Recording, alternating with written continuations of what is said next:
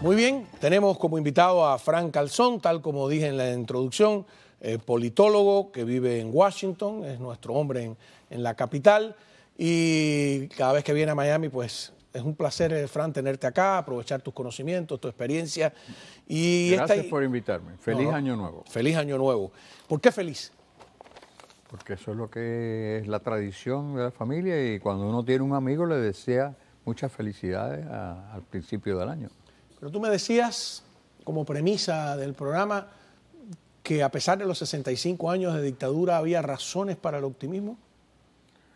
Yo lo que decía es que la estrategia de la seguridad de Estado, eh, que sale a la superficie de vez en cuando en el sur de la Florida, lamento tener que decir, uh -huh. es eh, promover el pesimismo. El comunismo en Polonia, en Hungría, en Checoslovaquia se, se, derrumbó a base del optimismo, de que el régimen no podía resolver nada y que la solución la tenía la oposición. Y a, a base de la solidaridad humana, de conseguir el apoyo de afuera, de los exilados, lograron liberarse. Y el caso cubano, oye, porque mira que ha pasado tiempo de lo de Hungría, Checoslovaquia, estamos hablando del año 1989, 90, 91, 92, 30 años han pasado. Sí, el caso cubano, los cubanos no, a mí me dicen, los cubanos no somos como los polacos, es verdad. Los polacos eran más religiosos, ahora eran polacos. Pero los polacos no eran como los alemanes orientales. En, en, Polonia, en los alemanes orientales era una iglesia protestante, en Polonia era una iglesia católica en la República Checa no hablaban ni polaco ni alemán. Y entonces ahí no era ni siquiera la iglesia, eran los, los activistas de artistas. Eh, Carta 77. Ese, ese tipo de cosas.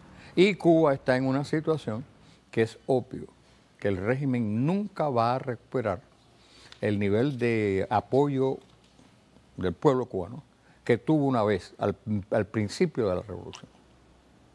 Ahora, a ver si tratando de ver algo positivo. ¿Quieres positivo? Yo Sí. te digo positivo. A ver. Que aquí a, a veces en el sur de la Florida, no sé, que este año que, Pasó el que, 23. que pasó, el, el ministro de Relaciones Exteriores eh, sueco anunció públicamente que, la, que Suecia tenía evidencia creíble del uso de la tortura en Cuba. Y como resultado de eso, Suecia ha venido gestionando que le corten el, el, acuerdo económico entre la Unión Europea y Cuba, que sería un paso increíble. En esa misma posición uh -huh. de Suecia están los checos, están los lituanos, seguro que hay otros. Claro, la gente me dice, mis amigos me dicen, ah, ¿cómo van a cortar eso? Eso es imposible. No sé cuántos nos recordamos que expulsaron a la Rusia del Consejo de Derechos Humanos. Rusia, que tiene un veto en el, Consejo de Seguridad. Y para expulsar a Rusia de ese Consejo tuvo que ir el voto a la Asamblea uh, de Naciones Unidas. Y el voto se pudo hacer porque es un voto secreto. Así que los rusos a no ser que tuvieran unos espías o algo. No, en realidad no, no sale un gobierno diciendo yo voto a favor, yo voto en contra. Votan. Y la expulsaron.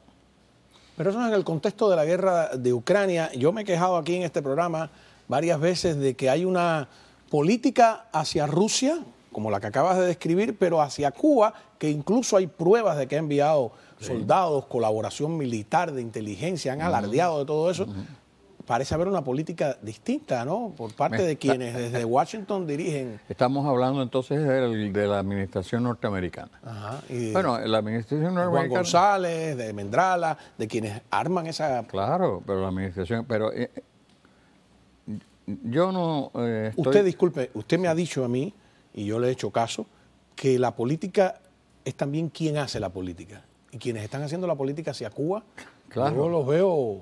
Claro. Yo recuerdo en un, una reunión en, en, hace muchos años, la embajadora Kirkpatrick, yo estaba ahí, eh, y, y, fuimos a ver a un funcionario del Departamento de Estado a quejarnos de la cuestión de, de Cuba. Y el funcionario decía, no, porque en el edificio se ha decidido tal cosa. y en el edificio, en the building, han decidido hacer tal cosa. la señora Kirkpatrick, que era profesora mía, yo la quería mucho, dio un golpe en la puerta y dije, ¿Who? ¿Quién? El edificio no toma ninguna medida. ¿Quién? Debe el nombre. ¿Quién es la persona? Y enseguida, bueno, los, burócratas. Entonces, sí, es verdad que es importante, pero es también lo que, lo que usted dice, pero también lo cierto es que el, poder en los Estados Unidos siempre está muy diluido. Entonces, eh, los cubanos no, somos huérfanos. Eh, hay tres senadores cubanoamericanos muy importantes en, el Congreso. Hay 11 cubanoamericanos. La comunidad, la, la comunidad cubanoamericana es fundamental en el estado de la Florida. Puede decidir quién sale presidente. Todas esas fuerzas se pueden utilizar. Y lo que la seguridad de Estado quiere es decirle a los cubanos, no, ustedes no tienen fuerza ninguna. Ustedes están perdidos, nadie le interesa eso. Los cubanos no han leído lo que escribió Václav Havel que dijo cuando los sin poder, cuando los sin poder eh, descubren el poder que tienen, comienza a derrumbarse el comunismo. Pero sin embargo Miami tiene una mala imagen eh, que han alimentado los, de la seguridad del Estado, que algunas veces hemos alimentado nosotros mismos. Eh, no, pero, pero no es cierto. Mira, eh, Miami tiene en ciertas partes, ciertas formas, una, mala imagen. Pero la Florida y Miami tienen una imagen perfecta, eh, en, sobre todo fuera de los Estados Unidos. En, donde yo vivo, en, Arlington, en Virginia, había un salvavidas, salvavidas que, ¿De la playa? sí, la, en la piscina. Y me pongo a hablar con él, el, hombre es de Moslovia, Mosdovia, en Europa. Sí, sí. Y el sueño de él era venir a la Florida. y, con la novia, y, cogió y apuntó. Y yo le di toda la información cuando se acabó el, verano. Y entonces me llamaba y, oye, ya yo estuve, claro, en inglés, ¿no? Ya yo estuve en la calle 8. Oye, maravilloso esto. O sea, ¿crees que tenemos, somos muy críticos de nosotros mismos? Le pasa a muchos pueblos, ¿no? Es bueno ser críticos de, de, nosotros mismos, pero la crítica debe de basarse en la cosa factual. La política hacia Cuba con, frecuencia, a, mí mismo me preguntan, a veces a mí alguien como usted me pregunta y yo digo, yo no sé, yo no sé, pero hay mucha gente que tú le preguntas, ellos, todo el mundo tiene una, opinión. Si está basado en la cosa factual o en algo que se le ocurrió o algo que yo, entonces ese es el, el dilema que tenemos. Y hay cubanos pensantes y además hay cubanos muy activos que están ah, trabajando como estaban los polacos y los checos dentro y fuera de Cuba.